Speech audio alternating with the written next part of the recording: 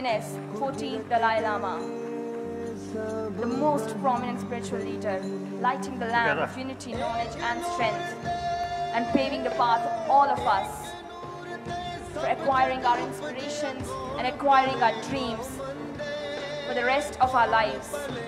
A moment that we are going to cherish for the rest of our lives, ladies and gentlemen.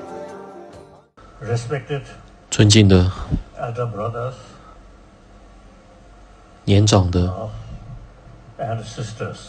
兄弟姐妹们，以及其他的年轻的兄弟姐妹们，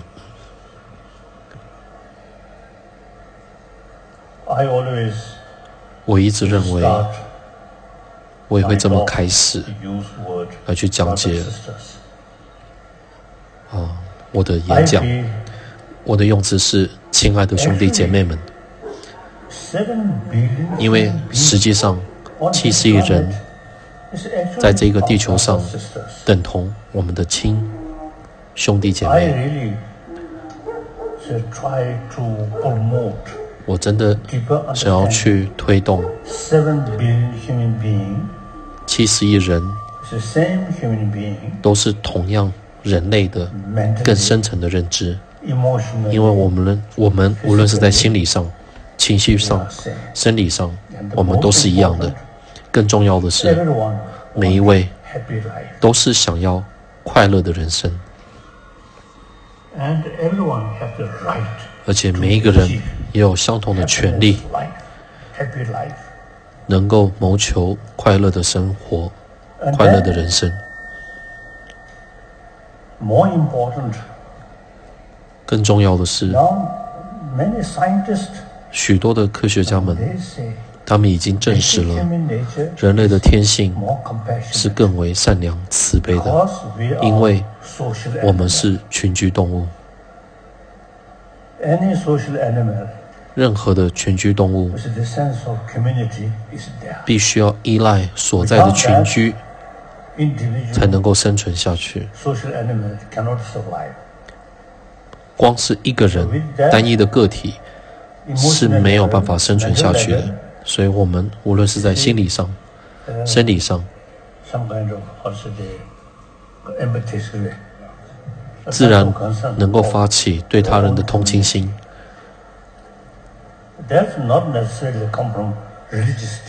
这一种同情心不一定要来自宗教的一个教义而是我们自然就会发起。这是我们人类人性的善良的品质。So I usually is telling 所以有时候我会这么说，uh, 我一般都会这么说。major religions on this planet, 所有地球上的主流宗教 religion of human being. 都是人类的宗教 So，human being is a 因为人类 very much based on 的生存.需要爱和被爱的关怀下才有办法生存下去。所以这也是为什么所有的主流宗教都一致的宣导宣导爱的价值因为我们人类急需爱。虽然在第二层次上我们有不同的差异可是我们要知道说这些主流宗教不同的教义不同的立场其实是一个不同的途径为了能够到达爱和被爱的这种价值的推广。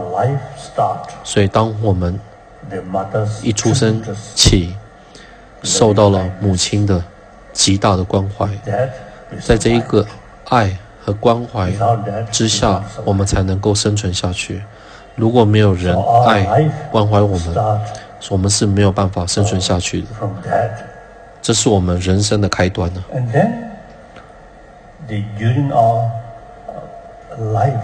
而且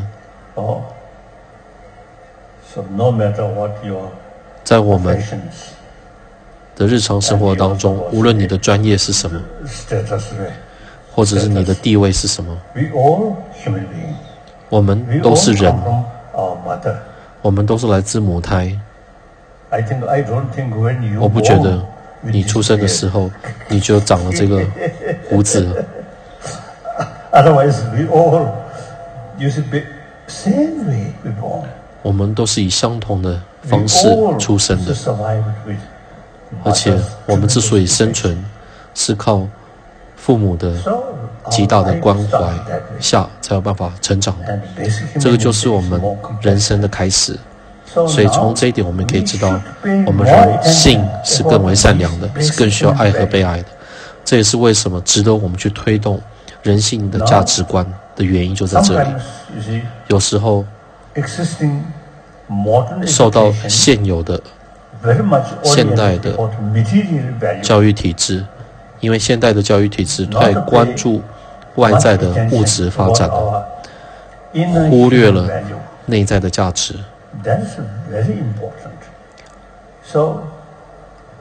所以导致我们有些错误的观念。这个关键点是我们要去认知的。像这个国家的现代教育，最主要是来自英国。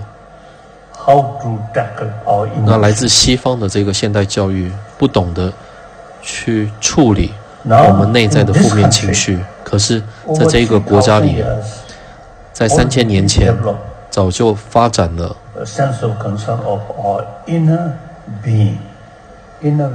对他人的一种同情心已经受到了慈悲心的价值，所以才有所谓的非暴力也就是在释迦牟尼佛诞生之前，还有耆那派的导师马哈维拉诞生之前，早就有了 ahimsa 非暴力的概念。当然，非暴力的行为必须要建立在 karuna 慈悲心的基础之上。慈悲心指的就是同情他人、尊重他人、珍惜他人的心。所以，逻辑上，你越珍惜他人，越不可能去伤害他人。所以行为上非暴力，意乐上高如脑就是慈悲心。这个非暴力和慈悲心是印度早在三千年就就已经推广的原则。所以之后，清大派的导师马哈维拉和佛教导师释迦牟尼佛。也随顺着这个良好的传统。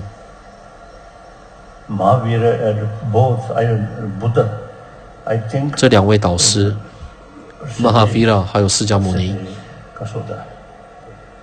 uh, 也极力的推动非暴力 uh, 和慈悲心这两者的良好传统。释迦牟尼佛更是如此他自己 firstly, the prince of one small kingdom. 他是一位小国的王子，you see, left the uh, small kingdom's family 之后他离开了王族.到偏僻的地方 he practiced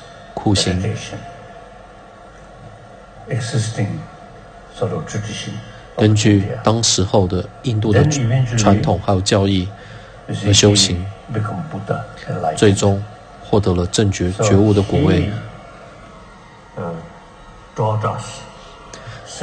佛陀跟我们说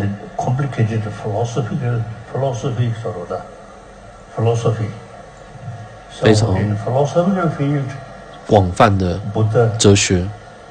就以哲学的立场来讲的话确实佛陀给我们人类的社会带来极大的贡献因为提供了许多有关哲学的资讯。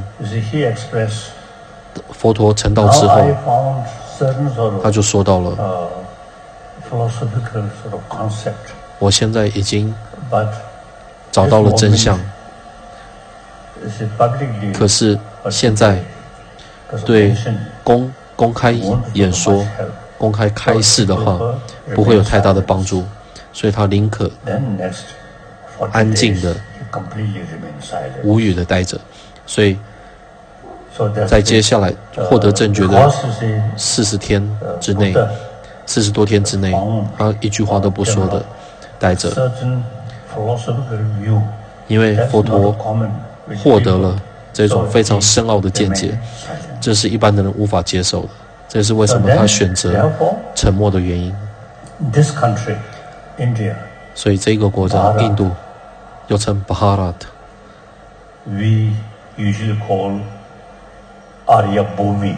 我们西藏人称之为圣地，也就是圣者之地。圣地有两者的解读，一个是圣者所在处，这是一者；那以及第二者，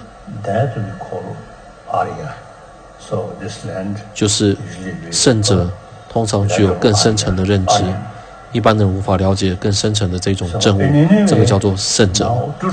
圣者所在之处，圣地，还有这个土地本身。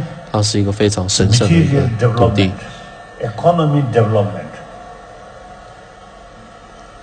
现在透过现代教育，我们会去关注科技、科学，还有经济等。但是就以内在的负面情绪来讲的话，确实现代的教育不足以帮助我们解决内在的负面情绪。因为我们可以看到，人们仍然还是受到了嫉妒、畏惧、攀比的这种掌控之中，所以现代的教育体制没有办法让我们从这些负面情绪的束缚当中获得脱离。所以，古印度的文明最主要给世人传达的讯息，非暴力以及慈悲心，这。两者的的确确是对今天的世界能够带来极大正面的效应的最佳信最佳的信息。我现在已经八十四岁了，我真的认为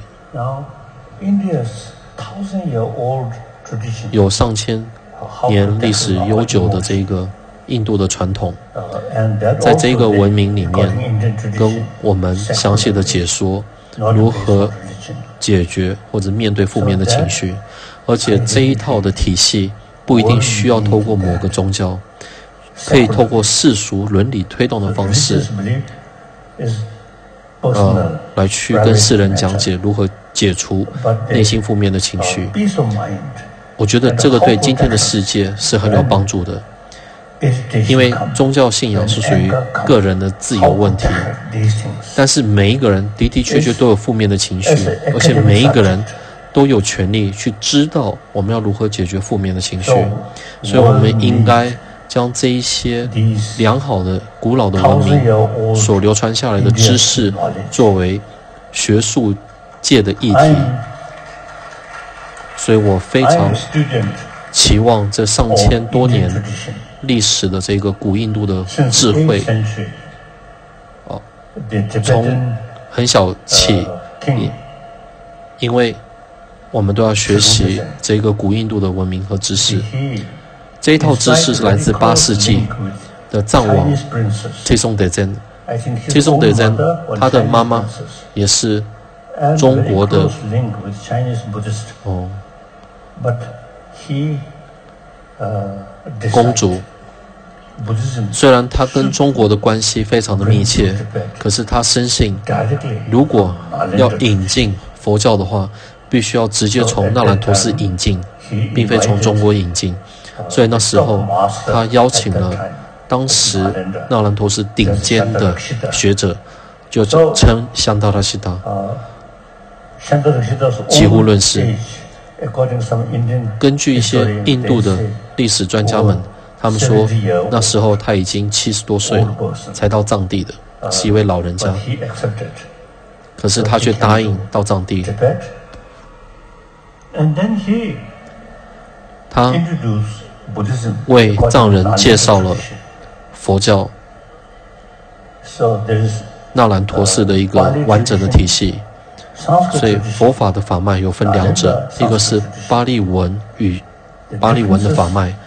那另一则是梵文法脉，差别是什么呢？巴利文的法脉最主要是以引经据典、引经据论的方式诠释佛法的教义。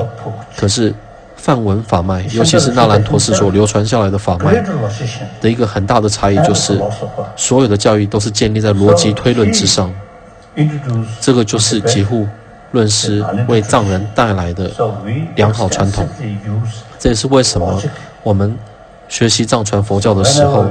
会常常引用辩证的方式，还有逻辑的方式，所以导致我有这样一个习惯。当我听到一个消息的时候，我的第一个反应是为什么？为什么？我不会马上的说是的，是的。我们会一直观察这背后的理由是什么，即便是佛说的，我们会去观察为什么佛。要这么说，它背后的理由是什么？当我们透过观察、检视佛亲自所说的教言之后，我们发现与真理有违背的地方，即便是佛亲自所说的教言，我们会尊敬的拒绝佛所说的亲自所说的教言。这个就是纳兰陀寺的传统，像是龙树，像是佛护。像是吉天，哦，像是月称等，这一些的大师们，他们会根据佛亲自所说的教言而去做区分，区分为这一派这一类的佛亲自所说的教言是如言可取的，是了义；这一类的是非如言可取，是不了义的。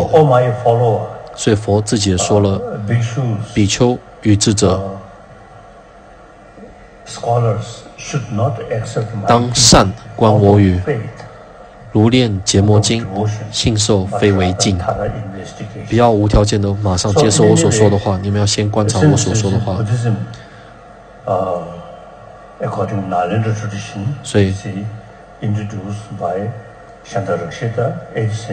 几乎论是八世纪的时候来到了藏地，跟我们介绍了佛法。所以我们根据他介绍的内容。真的很真诚的学习他带来的这一套传统，一直到现在已经有上千年了。所以我会这么形容我自己：当你介绍这些什么。观世音的转世，或者是什么宗教领袖等，我觉得，尤其是讲到观世音化身的话，对我的这种诠释呢，我觉得这个是不符合真相。但是，若就是接地气的一种说法呢，是我是人，我是佛弟子，我更是纳兰陀寺的弟子，纳兰陀寺的学生。At least I think thirteen Years I study as usually.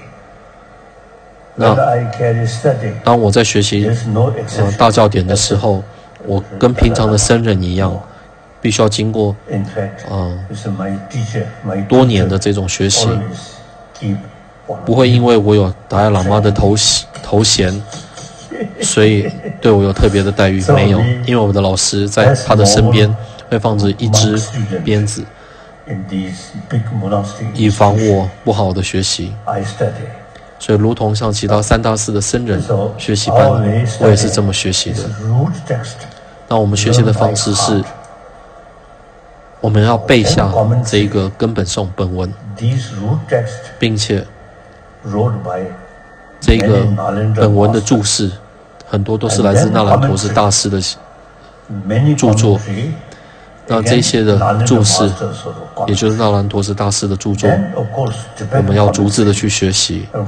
那再搭配西藏大师的著作作为参考，而且我们不只是逐字的学习以外，我们在学习的过程当中会常用辩论的方式而去了解经典所要表达的内容。所以，我们学习的过程当中，都是一种逻辑的方式、辩证的方式去学习。所以，辩论的这一套体系真的很好，它会让你的头脑更加的尖锐。更，如果允许我这么说的话，其实我算蛮聪明的，不是因为我天生就很聪明，不是这个意思，而是因为我们藏人。非常啊习惯的去使用辩论还有逻辑的方式去学习教育。我受到这方面的一个熏陶和训练的缘故，所以当我去美国或者是欧洲，还有去俄罗斯的时候，我发现我们保留的，嗯，这一套知识，也就是原本来自纳兰托斯这一套知识，对今天的世界是很有帮助的。So now,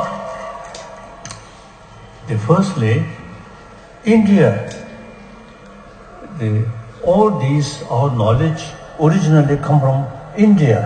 其实我们现有的这套知识最主要的根源也是来自印度，这是你们印度本身的传统啊。今天的印度却忽略了这些你们原本的古老的知识。所以在印度里，你们必须要恢复古印度的知识，也就是这一套知识完整的跟我们解释如何面对负面的情绪，如何培养正面的情绪。这一套的知识，古老的文明、古老的知识，必须要结合现代的教育体制，因为古老的这一套知识会帮助我们。内心的和平，内心的健康。现代的教育体制可以帮助我们了解科技、科学，这是很重要。但是他们最主要关注的点是外在的物质，光是这一点是无法带来内心的平静、内心的和平。所以有上千年的印度的这个传统。是可以帮助我们带来内心的和平、内心的平静。所以，古印度的知识结合现代教育体制是极为重要的，而且全世界都是需要这一种的结合。所以，就以这个观点而言，所以印度必须要成为领头羊，来去结合这两者。我们在学习现代教育体制的同时，我们更需要知道如何培养内心的平静。所以，我最新的另一个使命就是恢复古印度的知识。So now, in this country, because 在这个国家里，因为有了非暴力。的这个理念和原则的坚持，所以很多宗教的领领袖，像是古鲁娜娜，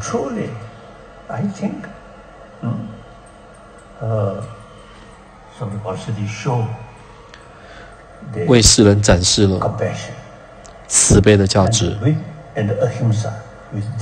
慈悲心还有非暴力。在这个基础之上，所以在印度的宗教和谐做得很好。他个人的一个家世背景是印度印度教，可是他却到了啊麦加去朝圣，这是非常非常啊令人称奇的、值得赞赏的作为。在古鲁娜娜的加持之下。这些锡克教的信徒几乎都没有乞丐，而且大家都非常的勤劳。班教的这一个帮，每一个人的锡克教徒，他们真的都非常的勤劳，我几乎看不到任何的乞丐。这一点我真的非常随喜你们，你们做的非常好。So, I just. Now you also you see the, I say the or special kasota, right? Ka, uh, period, also the memory about Guru Nanak. wonderful. 而且你们会根据古鲁娜娜的这个呃纪念日，而来去悼念他、意念他之前的伟大作为，这一点非常好。我们不只是要意念。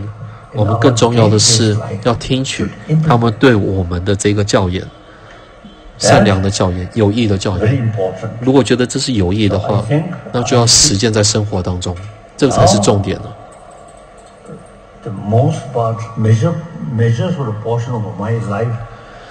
我这一人生，我这一生的大多的时间都已经在花费在这一个国家上，而且我是印度的，呃，在待在印度最长久的印度官方邀请的贵宾。所以，印度是一个伟大的国家。你们绝对能够对全世界的七十亿人带来极大的贡献。这就是结合古印度的知识和现代的教育。所以，无论我在哪里，我都为世人讲解世俗伦理，而且世俗伦理的佐证是以科学的发现为主。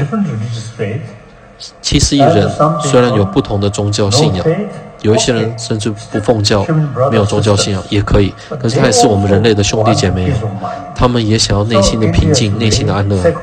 所以，印度的良好传统，通过世俗的方式推动内心的平静，这对七十亿人都是极为需要的。因为我平常就会这么讲，所以我自己认为我是古印度。知识的一个传递者，信者，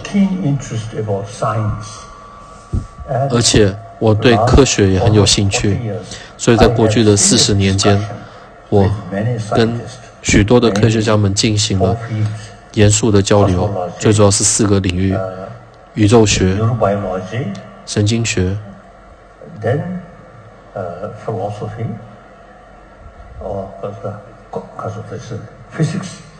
以及物理，尤其是量子物理学。当我跟这些量子物理的专家们交流的时候，好像我们比起他们了解的更多。因为一位印度的核武专家。核子专家 Raja Ramana 已去世的这位 Raja Ramana 呢，他有一次跟我说，量子物理在西方算是一个新的知识，可是早在这个国家，在两千多年前已经发展了量子物理的核心思想。的确是如此，因为我是古印度知识的学生，所以当我跟这些科学家们和量子物理专家们他们讨论的时候，虽然我是非常尊重他们的，可是我的内心的某一个地方，我觉得我好像比你们还要懂。还有量子，呃，不止量子物理以外，还有心理学。印度的心理学的确是非常完善，而且非常精致的一套深奥的学问。如果我可以允许我这么说的话。当我跟西方的这些心理学交流的时候，我觉得他们对人类内心世界的认知，比起印度的古印度知识，像是幼稚园的这种水准而已。可是古印度的知识里面所诠释的这个心理学，如何面对我们的负面情绪等这一方面的学术，已经到非常高度发高度的一个水准了。所以，比起这一个古印度的知识，西方的心理学像是幼稚园的水准而已。所以，他们还有很大的空间可以再发展、再发展、再发展。所以，跟科学家们交流之后，很多的科学家们，他们对古印度的心理学。以及，嗯，古印度的文明当中的这个量子物理的核心思想也深感兴趣。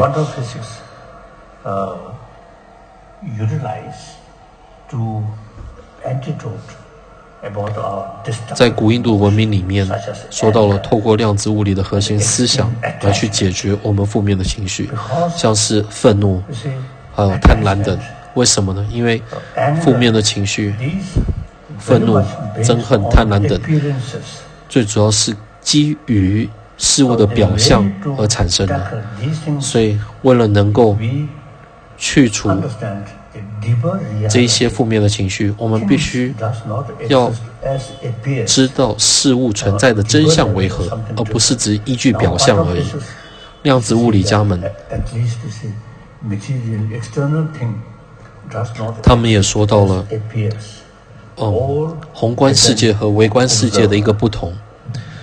宏观世界的这个表象看起来一些东西都是可以被衡量的，但是到微观世界的时候，没有任何一个事物到量子状态的时候都没有什么的，都没有任何的绝对性和可被衡量，所以说到了表象和真相的不同。所以当我们负面情绪产生的时候，都会产生一个绝对性的执着，绝对的好，绝对的坏，因为有这个绝对性的执着，才会产生负面情绪。所以，当我们知道说事物存在的真相并没有这个绝对性，我们只在表象上看到绝对性，真相上并没有绝对性的时候，负面情绪变成没有抓住的点，所以它就会自然的减少，它没有依据了。所以我想要跟你们分享，过去多年跟科学家们。讨论的经验或所做出的总结，就是一切负面的情绪，像是愤怒、嫉妒，这一切的情绪，都是跟无知无明有关的。因为我们认为事物呈现的表象，就是事物存在的真相，所以这是一种无知嘛，无明嘛。所以这些负面的情绪都是来自无名对真相的不了解，所以他们并没有真相为依据，没有办法被理由所推论。但是，像是慈悲心、爱心、关怀他人的心等，这个呢是有真相为依据的。因为你思维的越久，对于慈悲心的价值的坚信、信心就会越来越加的坚定。负面情绪乍看之下非常的强烈，可是你仔细冷静下来去思考的话，它是没有真相依据的缘故，就慢慢慢的消灭。慈悲心等，它是有真相逻辑为依据的，因为当你仔细的去想的话，我也是群居动物，他也想要离苦得乐，我也想要离苦得乐，因为我们是群居动物，我们要一起生存的缘故，所以我要尊重他的离苦得乐的想法。所以我不应该伤害他人，而形成了非暴力和慈悲心。阿辛萨嘎鲁纳。所以，当你思维的理由越多，一年复一年，你的慈悲心的这个坚信会越加的强烈。可是，愤怒虽然突然间好像很强烈。你就会想要大叫。如果你有杯子的话，你想要摔下。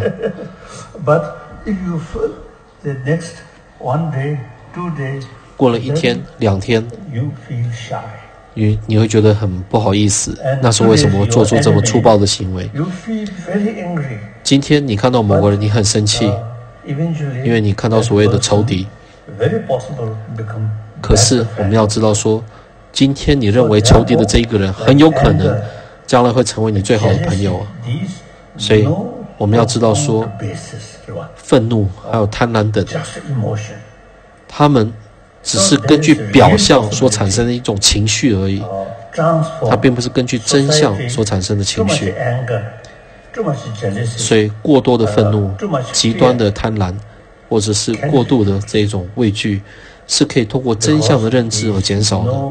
因为这些负面情绪并没有真理真相为依据，可是另一者慈悲心、善心等、宽恕等，它是有理由为依据、真理为依据和真相为依据的，以及许多的破坏性的情绪，像是愤怒、嫉妒等、畏惧等，都是跟自我主义有关。爱己胜过爱他的爱我之有关，所以为了能够减少这个，嗯，自我为尊、唯我独尊的这种想法，所以我们只能爱护他人、珍惜他人，透过爱他心来去减少爱我值。所以，我们人的这颗头脑真的是非常的不可思议，令人称奇，因为他好好的运用去了知真相，去了知这些真理的话。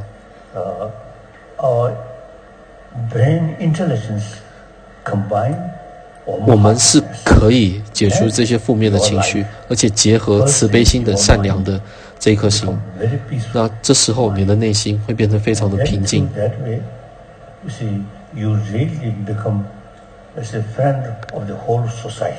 那你看任何社区的所有议员，你都会觉得是你的朋友。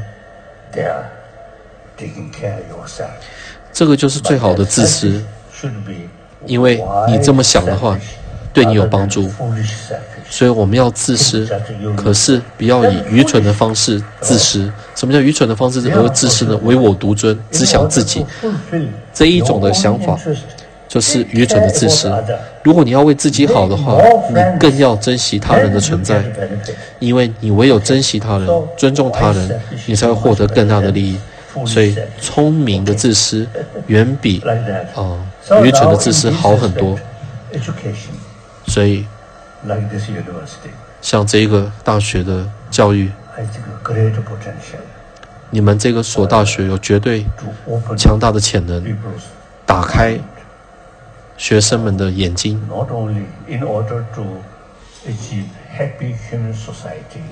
为了能够建立更快乐的人类社区，更快乐的世界。我们不只是要发展物质以外，我们也要提升内心的品质。如何提升呢？就是结合智慧和慈悲。所以，印度在过去上千年间就已经有这么良好的传统。所以，你们只是需要去好好关注，像锡克教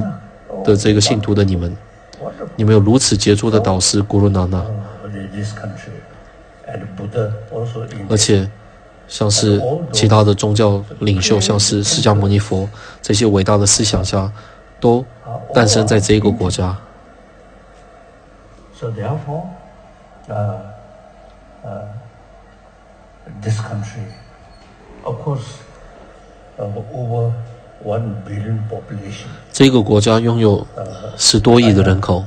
中国也是拥有十多亿的人口。中国就以历史的背景而言，是佛教的国家。只要有华人的地方，唐人街都是有佛教的寺院。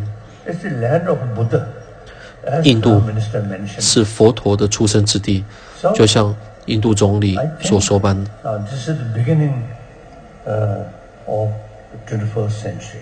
现在是二十一世纪初，只要我们好好的努力，改良我们的这个教育体系，不是只要做法会、做布教而已，这个是不够的。最主要是要落实的去改良我们现有的教育体制。如果我们这么做的话，我相信在二十一世纪末，这世界会更加的和平。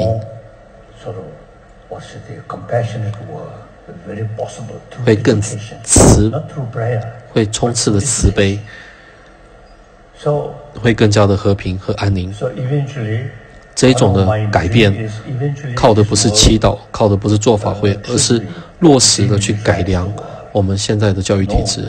所以我的梦想之一就是这个世界不再有武器。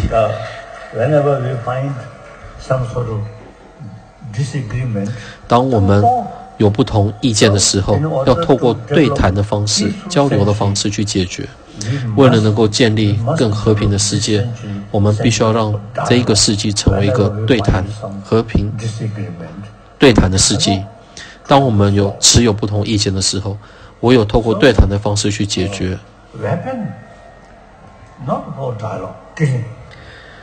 制造武器的用途就是杀戮嘛，不是为了对谈。那这种的想法，使用武器以暴制暴的想法，其实是过时的想法。而且，好战的想法其实是跟封建制度的思想有关。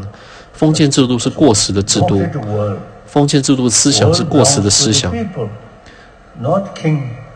所以今天的世界是属于这世界的七十亿人，它并不属拥，并不属于某个个人，并不属于某个国王。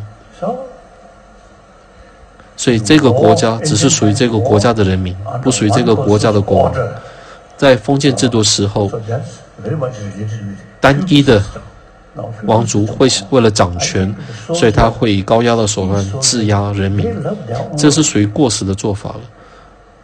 每一个人都想要离苦得乐，都不想要被高压的手段给控制。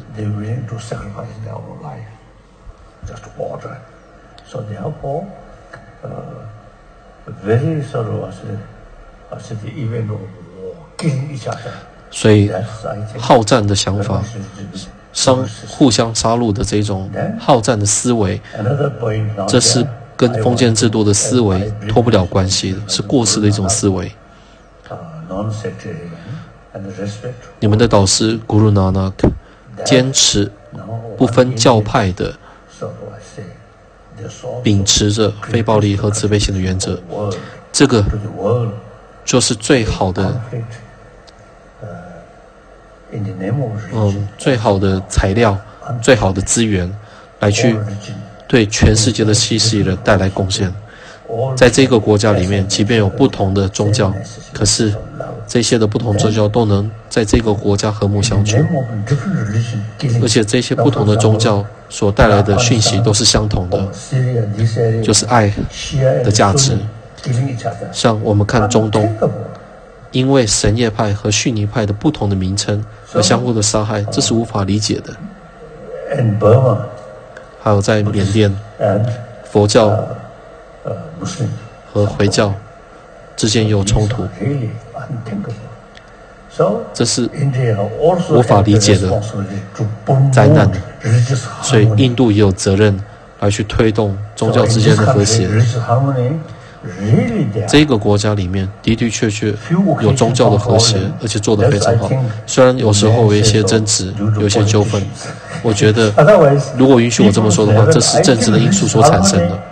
就以百姓的这种呃习惯或传统而言，已经有上千年的宗教和谐的一个良好传统，所以我觉得印度你们可以对世界展示宗教和谐是可以做得到的。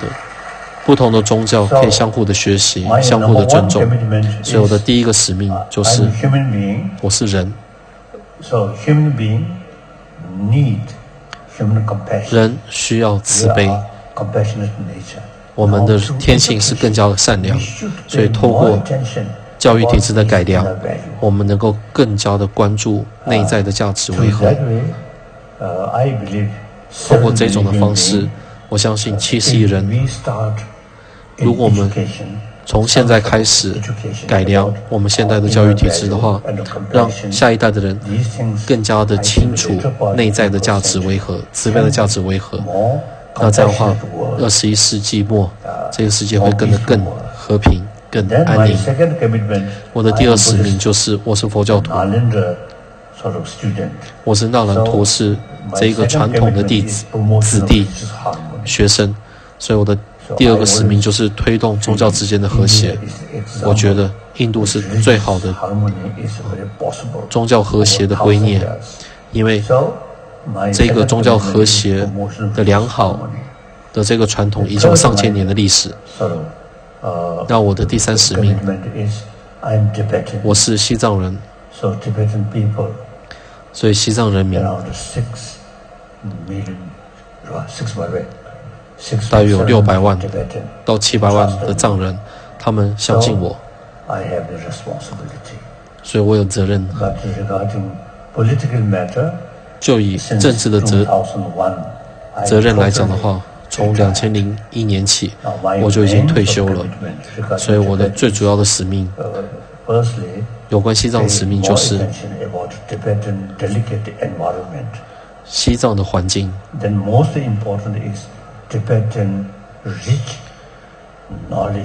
以及更重要的是，西藏人所拥有的这个来自纳兰陀寺的知识。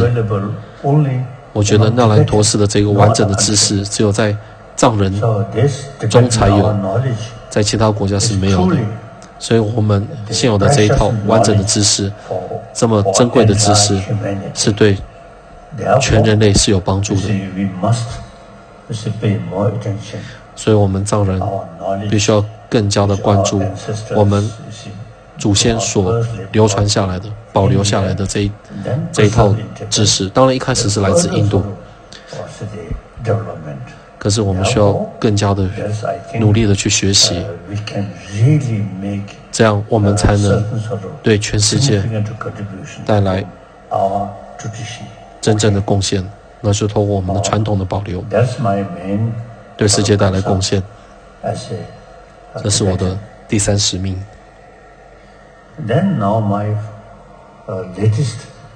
最新的第四个使命，就是恢复古印度的知识，在当今的印度当中恢复古印度的知识。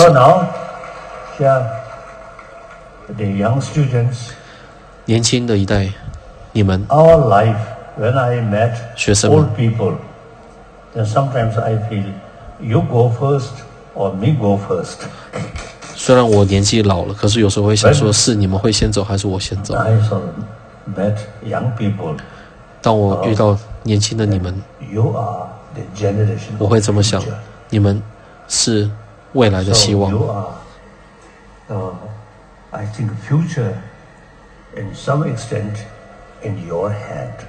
Uh, in in. 所以未来掌握在你们的手上。So, uh, these negative thing, international level, 这些负面的灾难，无论是国家和国家之间的问题，或者是国内之间的问题，像是印度来讲的话，就种族歧视的问题，还有贫富差距的问题。呃，negative things，这些负面的灾难。We should make effort. 这是我们要通过自己的努力去改变的。所以年轻的一代，你们如果更加的关注这方面的议题，而且从现在开始好好努力的话，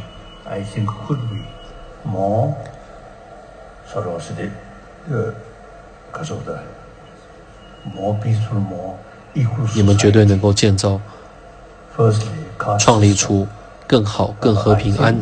安详的社区、社社会，像是种族歧视是属于封建制度的一个产品之一，这已经过时了。你们同样都是印度人，同样都有相同的权利，所以我真的很严肃的去考虑这个问题。我们印度的这些宗教领袖应该要。结合起来，对群众们讲解这个种族种族歧视是不好的问题，而且锡克教内部没有种族的一个不同歧视的问题，这是非常好的。Now you have, I think, a bright future. You must. 所以年轻人，你们为了更光明的未来。To to bring it to grow. 你们必须要好好的努力。我是佛教徒，我每一天的观修还有祈祷。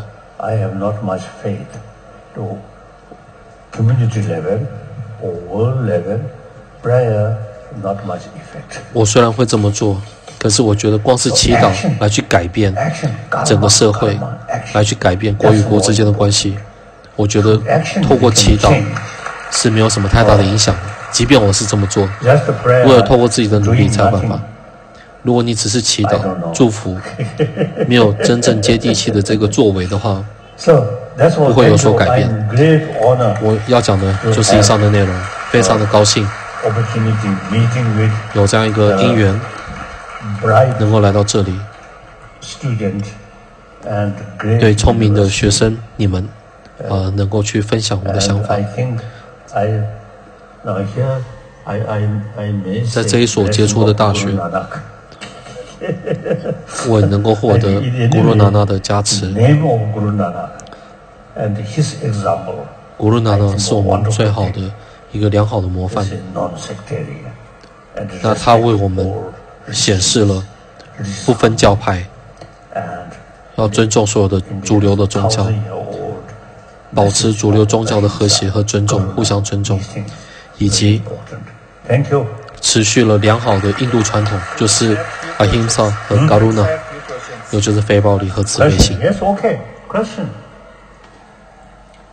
I like questions. 我喜欢你们提出问题。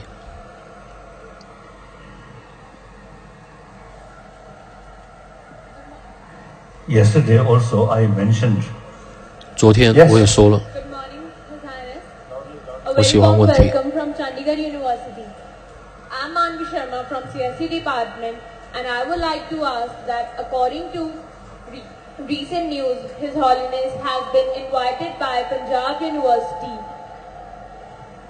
So, will, according to you, what should we do to pay real homage to Guru Nanak Dev Ji as His Highness has been invited by the Punjab University uh, for the uh, celebration of Guru Nanak Dev Ji's 550th birthday celebration. So according to you, what should we do to pay real homage to Sri Guru Nanak Dev Ji in true sense?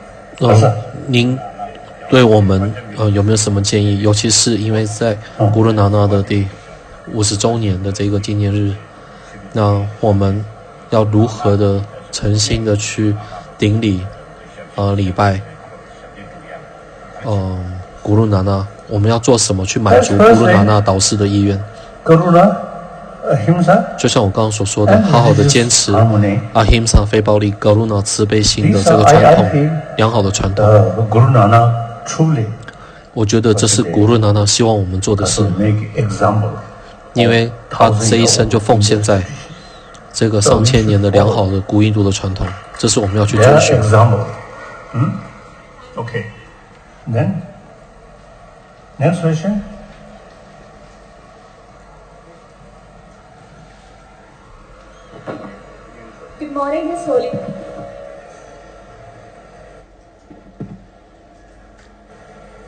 Where? Good morning, His Holiness. My name is Nova and I'm from Liberal Arts Department. So my question to you is that recently the government of India has met the long-standing demands of the people of the Ladakh region by providing them the UT status. So sir, what are your views on this decision? 最近，印度政府将拉达设定为印度政府中央政府直接的管辖区，那对此尊者你有什么看法？我也听说了，许多的拉达当地的人民非常的欢喜。除此之外，我没有个人的意见。因为这是拉达当地的 居民，他们要去关注的问题。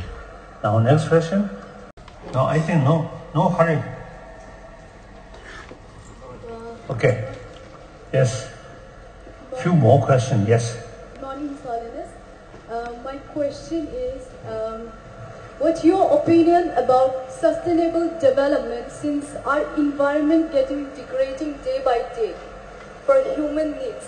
We are actually degrading human uh, environment for the human needs. So, what's your opinion about environment? 环境被我们搞得越来越糟糕了。所以您对此有什么建议？哦，看。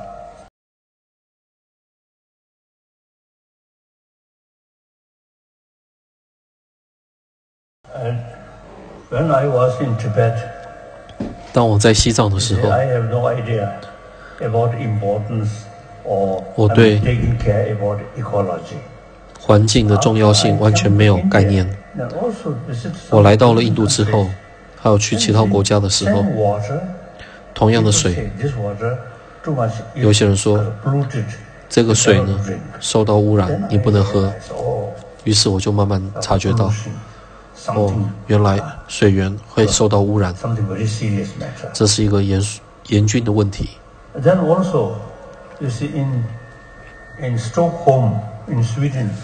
还有在 Stockholm，嗯，瑞典，有个河流，有条河流。我听说，在几年前完全没有鱼，因为受到污染的缘故。那相关的人士他们努力去改造这个河流的品质，慢慢慢的，才有一些鱼流鱼儿，所以代表我们是可以改变。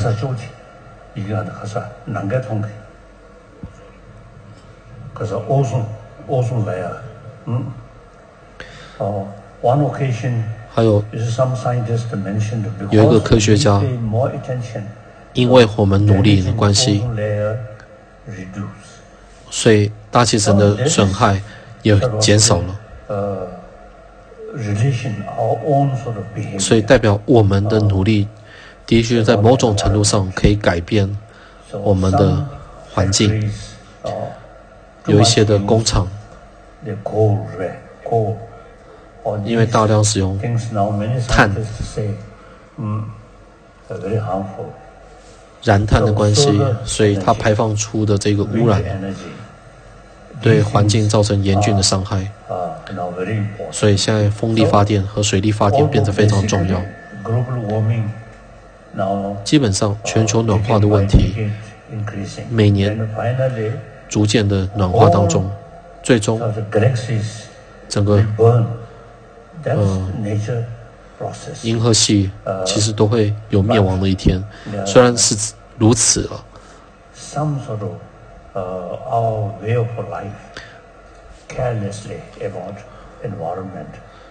但是我们每日的生活可以通过自己的努力来去延长这个地球的寿命，所以我们需要更多的关注环境的问题。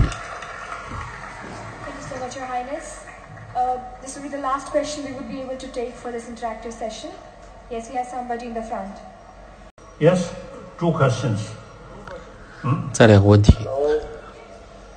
His Holiness, I'm a teacher.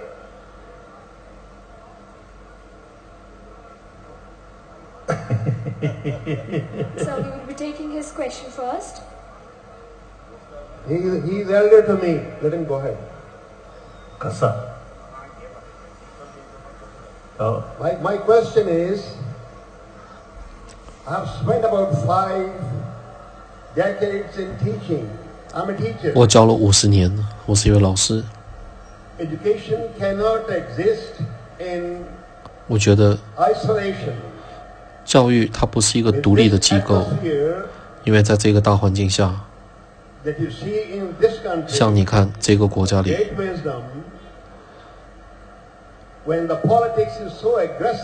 因为这些政治家们，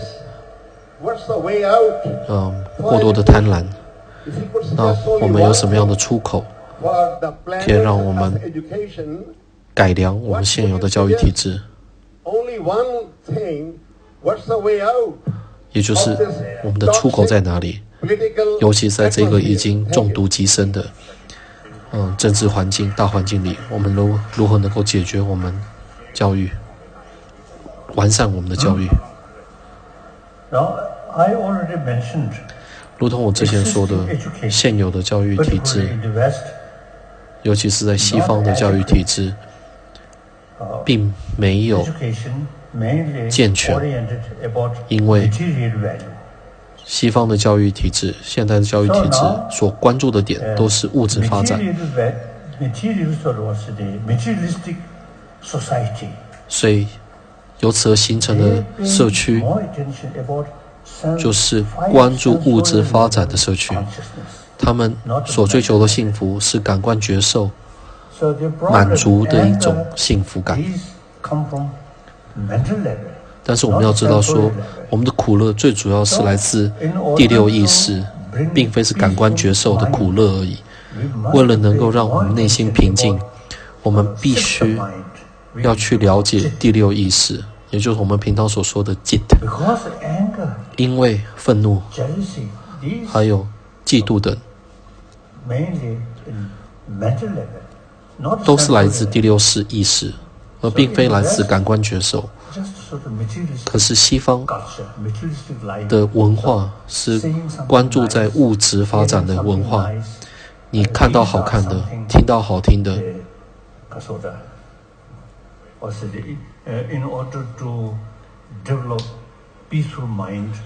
为了能够建立内心的和平，所以你觉得把重点摆在感官觉受的满足上，这是不够的。所以这个国家所说的 ahimsa 非暴力，garuna 慈悲心，是跟第六意识有关的，并不是跟感官觉受有关。为了能够建立内心的平静，我们必须。要认真的思考第六意识的价值重要性。当我们看到好看的，听到好听的，在这个同时，你的内心却是充满着愤怒的话，看好看的也不会变好看的，听好听的也不会变变成好听的。所以我们要知道说，愤怒。的这种情绪跟感官觉受没有直接关系，是第六意识所造成的负面作用。所以第六意识又可以分不同粗细的层次。当现在我的感官觉受都还在运作的时候，我的第六意识是属于粗显的一个状态。做梦的时候，睡觉的时候。熟睡的时候，只有第六意识，并没有感官觉受。那时候的感官觉受呢，是更细微的。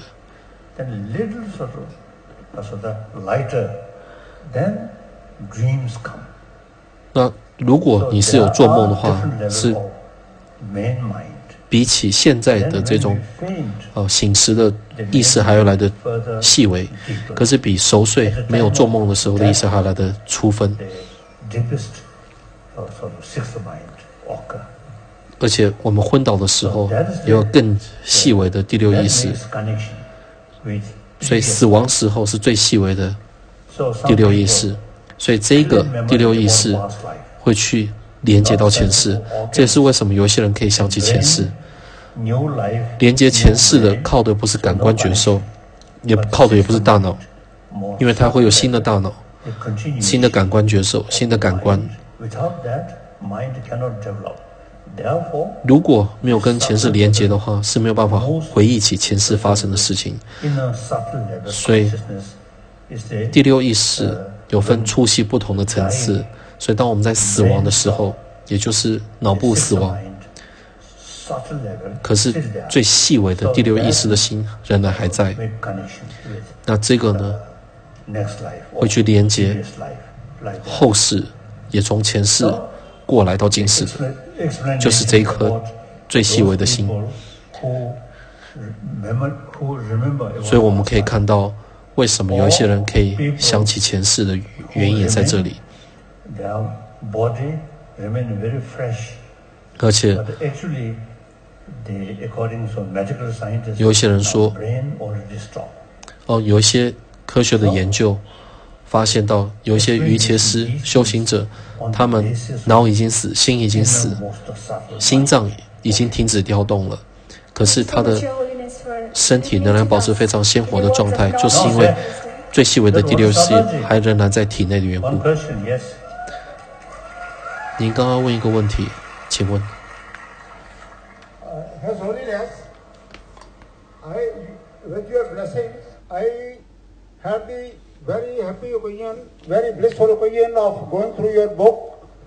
我非常的高兴听到您的演说。看过您的书，让我的生活更好。我想要感谢您。嗯，Thank you, thank you, thank you. Thank you so much, Your Excellency. Today was indeed a day of once in a lifetime opportunity, a day where we had the gracious moment of having amongst us the notable personage, His Excellency the 14th Dalai Lama. Small token of gratitude from Chandigarh University as we are immensely elated by his illuminating presence here today.